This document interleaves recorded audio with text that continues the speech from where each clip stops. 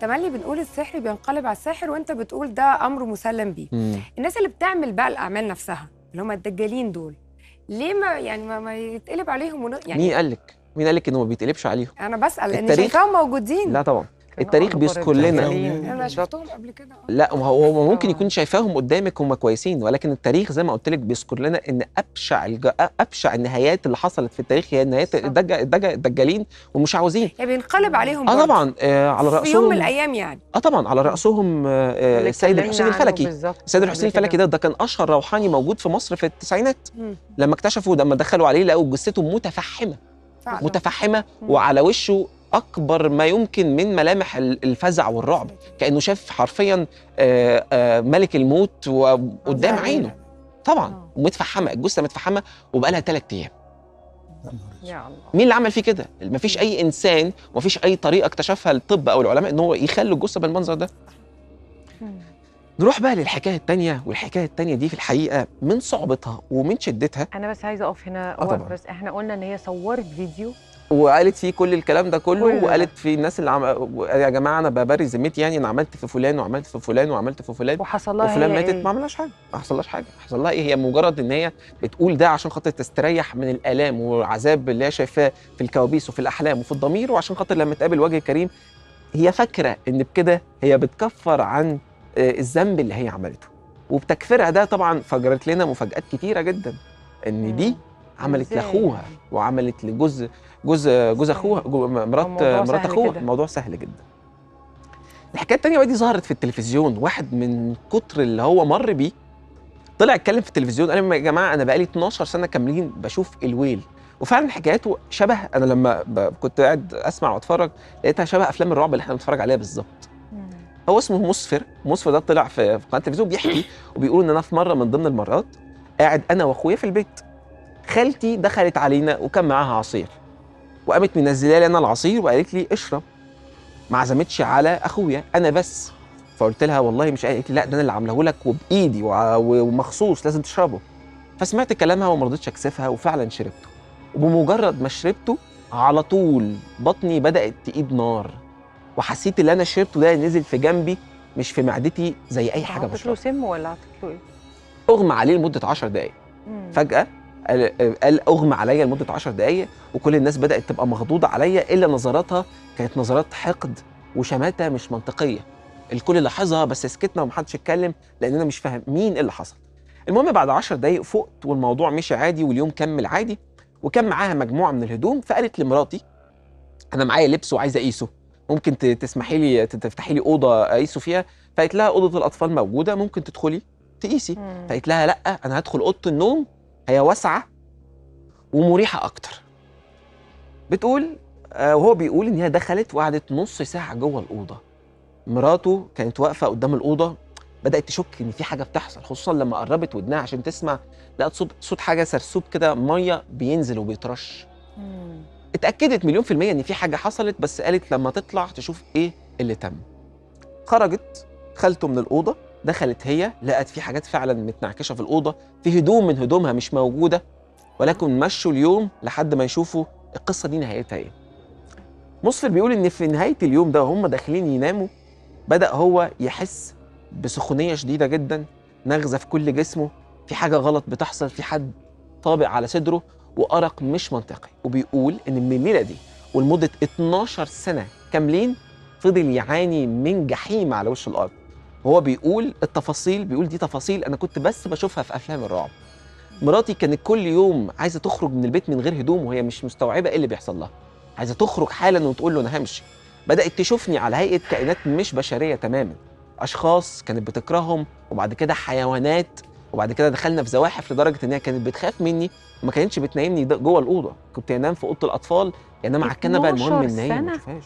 12 سنة سنة وهو ساكت طب إزاي؟ هو 12 سنة وهو ساكت الموضوع بقى وده برضو دي الحتة اللي محتاجين ننوه عنها إن ناس كتيرة بتحس إن حياه إن الموضوع عادي إن دي مشاكل عادية إن ال- الزوجين زهقوا من بعض أو ملل أو مش متوافقين أو حد باصص لهم. بس مع تكرار الموضوع بنمط ثابت دايما بنقول إن كده في حاجة غلط لازم نعرف إيه اللي بيحصل وإيه اللي بيتم. والموضوع جه صدفة. يعني هم في مرة من ضمن المرات قاعدين وفي واحد بنسميهم معالجين الروحانيين وبدأ يقول حاجات بالصدفة على حد تاني. يعني هم ما كانوش عارفين على حد تاني. فاللي بدأ يتشنج وبدأ جسمه يتصلب وبدأ يظهر عليه حاجات مش مش منطقية مين. الراجل ومراته اللي قاعدين هم ما لهمش علاقة أصلا بالقصة. فقال لهم لا تعالوا لي أنتوا في جنب تعالوا أنتوا إيه القصة؟ بدأ يقول حاجاته عشان يكتشف إن هو اللي معمل لهم واللي معمل لهم كان صعب جدا لأنهم خدوا وقت كبير وقال لهم إن اللي عمل كده خالته. بدأ. يفتكر وإن فعلا اليوم اللي جت فيه عشان تحطوا له العصير ويشرب هو العصير ودخلت أوضة النوم كان هو ده السبب. هو هو ده ده الأعمال. خالته اللي هي يعتبر هي اللي مربياه دخلت عشان تحط له العصير ويشرب هو فيبقى عنده عمل وتدخل جوه اوضه أوضة نومه تعمل عمل لمراته. ليه بقى؟ كانت عايزة تجوزه بنتها يعني ولا ولا الشر للشر يعني؟ لا مش الشر للشر. بسبب مشاكل الميراث. ياه آه مم. برغم إن هو بيقول إن خالتي دي هي اللي مربياني أكتر من أمي. ولكن لما الأب أو الجد مات فضل ولاد وهي كسبت إيه بقى بعد 12 سنة ولا أي حاجة في ولا أي الآخر؟ حاجة طبعا ولا أي حاجة مم. كمان الحكايات ما خلصتش بالنسبة لي مع الناس العاديين كمان المشاهير كان ليهم نصيب نصيب محترم جدا وفي قصة منهم اذهلتني الصراحة آه نجلاء بدر كانت بتحكي بتقول إن هي كانت مخطوبة في فترة قعدت فترة طويلة مخطوبة. والفترة دي كانت بتشوف كمية كوابيس ورعب مش منطقي. كوابيس ورعب لدرجة إن هي ما كانتش قادرة تنام لمدة أيام طويلة. يعني بتقول أقصى مدة ممكن الانسان ينام ما ينام- ما ينامهاش حوالي ثلاث أيام أو أربع أيام. هي بتقول إن هي كانت ممكن تكسر الرقم ده من كتر ما هي خايفة إن هي عينيها بس تغفل كلمت دار الإفتاء مخصوص عشان خاطر تعرف اللي بيحصل ده إيه. بعتوا لها حد وبدأ يقرا لها في البيت فعلا عشان يكتشفوا إن في مسمار فوق السرير والمسمار ده عليه هدية والهدية دي من خطيبها اللي في الهدية عمل. وبالمناسبة يا عشان. خاطر ناس كتيرة جدا اللي أنا هقوله ده موجودة في بيوتهم هي الريشة اللي كان في بعض الأساطير بتقول إن الريشة دي بتمنع الكوابيس والأحلام مم. المؤذية. dream catcher آه بالظبط آه. كده. ف آه ب- ناس كتيرة دي بتهادي. موجودة عندنا كلنا. ناس كتيرة بتهادي بعض فيها. أيوه. حلو الكلام. ولكن أكتر من موضوع أكتر من موضوع قصادي الموضوع ده بيبقى فيه عمل آه. فبدل ما إن هو ياخد دي الكوابيس؟ بيحط ال... لا هي دي أسهل حاجة أنت بتحطيها دي تحت dream ال... catcher دي عشان الأحلام اللي مش؟ ظريفة آه آه. عندي في البيت آه، دي الأحلام اللي في فوق ال- البيت آه، فوق فوق السرير السرير، أقرب دي حاجة بس ليكي. يعني حاجة في آه. ال- في الثقافة بتاعت الهنديه آه بالظبط يعني ممكن يبقى معمول لك. جنوب آه. بص أنا فكرة الأعمال دي دايما بقول إن إحنا الذكر مهم جدا والصلاة مهم طبعاً. جدا محدش بعيد عن أي حاجة طبعاً. بس ال الواحد طول ما هو لازم يبقى قريب يحصن نفسه زي ما دي بقول حقيقة. عشان كده في الرقية الشرعية و... و... ولكن البقرة. خليني أقول لك إن الرسول صلى الله عليه وسلم بتاع عليه والسلام طبعا ما ده اللي بقول طبعا مفيش حدش- حد مفيش طبعاً. حد ممكن يبقى هو ذكر في. القرآن طبعا بس خلاص بس الرؤية الشرعية بتفك ال- الأعمال I don't think لا الرؤيه الشرعيه بقى بتفك الأعمال أو بتحكي. بتكتشف أو بتدل بتعرفنا الأعمال موجودة ولا لأ دي بس قصه إحنا ثانية من نفسنا يعني زي مثلا رنا عندها الريشة دي فوق السرير مم. أو أنا هقدر أعرف منين ولا لازم ما يجي حد. مقرئ زي لا ما طبعا ما تقدريش ما تعرفي أي أقدرش صح؟ أي حاجة. الناس العادية ما عندهاش القدره إحنا دي. بنتكلم على ناس إحنا بنتكلم على أخ ممكن يعمل لاخوه إحنا بنتكلم على صديق وص... و... و... وصديقه وكان بيديله أكل حاجة يأكله وكان عن أعمال. آه. آه. فما فيش أي مقياس تقدر تحدد بيه. ولكن أنت طول الوقت لازم إن أنت زي ما قالت رنا لازم طول الوقت تكون متيقظ. أنا بتكلم وبنعرض الحكاية الحكاوي دي عشان نقول مفيش حاجة بعيدة عن حد يعني بس. إن النهارده في 2024 وأنا كنت أعتقد إن مع تطور التكنولوجيا الوعي في الأمور دي هيزيد. هيقل. لا الموضوع بيزيد جدا. الموضوع بيزيد بشكل مش منطقي. عايز أسألك سؤال ممكن ما يكونش الإجابة عندك بس أنا كحد عادي عايزه أعرفه. كل الناس أكيد اللي بتتفرج دلوقتي عايزة تعرف. مم. لو أنا معمول لي عمل يعني لأن زي ما بتقول ممكن تبقى حاجات عادية أنا ما بنامش عشان عندي أرق تعبانة بفكر في موضوع مم. أو معمول لي حاجة مش طبيعية. ممكن أنا كشخص عادي أعرف إزاي؟ عن طريق إيه يعني إحنا عندنا دار الإفتاء زي ما القصة بتاعت نجلاء بدر واللي نقذتها دار الإفتاء في يبقى أكتر دي من ده مكان وسيلة آه. شرعية جميلة بتبدا ده. ويسألوكي بعض الأسئلة. آه، آه، المختلفة اللي أنت بتحسي بيه اللي أنت بتشوفيه والموضوع بيبقى موضوع موثوق تبع الدولة مش بنروح لاتجاه النصابين و... وأعتقد إن في ده الكنيسة برضه. بيتم عمل بعض ال... بعض الحاجات اللي زي دي كشف عن ال- أنا الموضوع بسأل ده عشان كده عشان الناس ما تخشش من حتة لحتة اللي بيحصل إن حد معمول له عمل يروح لدجال تاني عشان يفك العمل العمل طبعاً، فنخش في نفس. دار القصة طبعا دار الإفتاء لأن الدجال ده ده. بالمناسبة.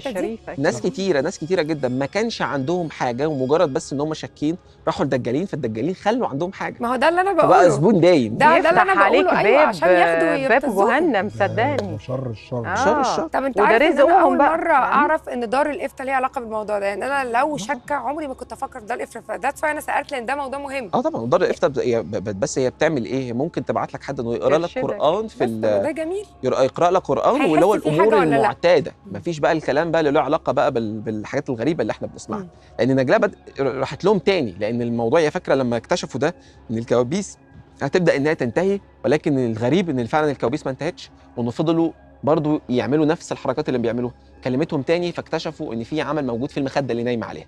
لا لا لا جوه المخدة وبرضه خطيبها هو اللي عامله. إحنا بنحاول إن إحنا نجيب إيه؟ نجيب نجيب آه آه اللي هم الناس اللي هم الأقرب ناس ليك. آه بتقول خطيبي وخطيبي لمدة طويلة جدا. داخلين واكلين شاربين في كل حاجة عن بعض. فيعمل لي عمل أو اتنين من الأعمال عشان يحول لا، حياتي. عمل إيه؟ هو ده بقى الفكرة. عمل ليه بقى؟ ده اللي يعني هي بس اللي تقدر إن هي تجاوب عليه. ال- التفكير أو فكر البني آدم اللي بيعمل عمل ده برضه برضه ما هو أنت إيه؟ بس تدخل في دماغه تعرف. سوزان ليه. بدر الدين بقى ودي فنانة تانية هنا اللي قالت مين اللي عمل لها العمل. وكان في هدف من العمل ده ودي بالنسبة لي قصة. غريبة جدا. بتقول إن هي كانت كل عمل تدخله قبل ما تيجي تمضي يحصل حاجة العمل يبوظ. كل الناس كانت بتقول لها إن في حاجة غلط وهي كانت فاكرة إن ده عدم توفيق من ربنا لأن هي كانت مجتهدة وكانت بتسعى وبتعمل اللي عليها. لحد ما مرة مع مرة ودوها الشيخ واكتشفوا إن في فنانة كبيرة بدون ذكر الأسماء هي اللي عاملة لها العمل عشان خاطر هي مش عايزة إن الشخص ده ينجح. لا لا لا أسود. يا معقول الله الواحد بيحاول يعني كانت صاحبتها بقى آه طبعا؟ آه طبعا هي كان ال بالعكس. ال ال ال الأب الروحي ليها في المجال أصلا وهي اللي دخلتها ليه وهي اللي بتصب نفس لها. الفكرة اللي بتقول عليها إن حد قريب مننا هو اللي ممكن جداً. أكتر حد يكون اذينا واكتشفت. ده بس عايزة أرجع لنقطة مهمة آه جدا طبعاً، إن. طبعا إحنا بنتكلم الكلام ده النهارده عشان نقول إن في احتمالية إن ده يحصل من أقرب الناس. طبعا. بس ده ما يديناش برضو إيه، الفكر إنه إحنا نشك في الناس اللي حوالينا على قد ما نقدر. بس دايما دايما نحصن نفسنا على قد ما نقدر لأنه الواحد برضو لما يا أحمد بيفتح على نفسه باب الشك ما بيخلص. لا لا أنا دي عندي. حد من صحابي فعلا بس كده عشان بتشك في أقرب ال- الناس. النقطة دي وعشان خاطر أنا مش عايز أوصل لمرحلة الشك. بالظبط. في فيديوهين تعال نشوفهم الأول وبعد كده أقول لك عن موضوع الشك ده. عشان خاطر الموضوع هياخد مننا منحنى مختلف. أكتر من كده. أكتر من كده يا أحمد. يا لهوي! يا لهوي! ليه ده؟ مين اللي دخل جوه الكنبة كده؟ يا ماما! حسبي الله ونعم الوكيل. إزاي؟ إزاي؟ يا لهوي مكتوب ربط. ربط. إزاي؟ ربط يا حبيبتي. تفريق نفور. طلاق. تو إيه؟ تقى بنت نجلاء شفتي؟ عادي عادي. مين بقى؟ هنعرف مين. أعرف. هنعرف مين. انتبه انتبه انتبه انتبه انتبه انتبه. بسم الله بسم الله. جيب جيب الماء جيب الماء جيب الماء. احضر إيه احضر ده؟ بسم الله بسم الله بسم الله بسم الله. جيب الماء وين الصبر؟ بسم الله بسم الله. إيه ده؟ إحنا الأعمال دي واحدة طلعت اللي هي تقى دي تقى دي طلعت already يعني العمل معمول بالطلاق وهي اتطلقت هي عشان اتطلقت فجابت شيخ فالشيخ طلع ده بيقول حاجات ويطلع الحاجات دي فاكتشفت العمل موجود موجود فين؟ في الكنبة اللي هم بيقعدوا عليها. في قلب الكنبة من جوه. مين اللي وصل لقلب الكنبة من جوه؟ أكيد حد من أهل البيت. مليون في المية من غير تفكير. والموضوع التاني برضو نفس الفكرة. أنا عايز أقول لك بقى والمفاجأة عشان موضوع الشك ومن الحاجات الغريبة بالنسبة لي جدا. واحدة آه، آه، صاحبتها جابت لها جزمة هدية. والجزمة بدأت إن هي تلبسها ومن بعد ما جابت الجزمة دي حياتها بدأت إن هي تتدمر تماما. ومع اللبس ومع الوقت الجزمة اتقطعت عشان يكتشفوا إن في عمل محطوط جوه الجزمة. يا نهار لا لا. لا لا لا. لا مش إيه الفضل معقول اللي إحنا ممكن الصورة؟ أنا جايب. صورة للجزمة يعني بجد إيه من لا إيه مش فضل هو كل- كله ده؟ أصعب فكرة إن هو لا، أنا بيلازمك بتكلم أيوه أنا. معاك أنا بتكلم إيه. الفكر ده نهار إيه. الشر إيه ده الشر ده صح إيه ده؟ يعني إيه ده يا نهار أسود هكسب إيه هكسب هكسب إيه؟ إيه من ورا ده عملت العمل وخربت بيتها أنا كسبت إيه إيه لا، ما في اللذه بتاعت عملت. إيه ناس مريضة مريضة. الحقد والغل أنا عايز أقول لك إن دي مش بس يعني بياكل البني آدم بياكله لو ده بالنسبة لكم موضوع ممكن يكون استثنائي ففي حملات تنظيف المقابر المختلفة اكتشفت إن في جزم كتيرة جدا موجودة محطوط فيها أعمال ومرمية في المقابر أنا بشوف جزمة. على الفيسبوك اليومين دول بيقول لك مسكوا واحدة امم بتعمل أعمال بت بت بترميها في جبل عرفات آه دي حقيقة أيوه أيوه شوف كارثه ده ده دي, دي آه. أنا اتخضيت لما آه. شفت وقابضين على الست دي هو. قابضين عليها وزي- يعني كان في كان حد, أحكي لنا القصة دي إيه حد ما كان بيكلمني وبيقول لي هو ممكن يعني هو كلمني مخصوص من يومين بالظبط مم. أو تقريبا امبارح. بيقول لي هو ممكن حد يسافر كل المسافة دي عشان يروح يعمل عمل؟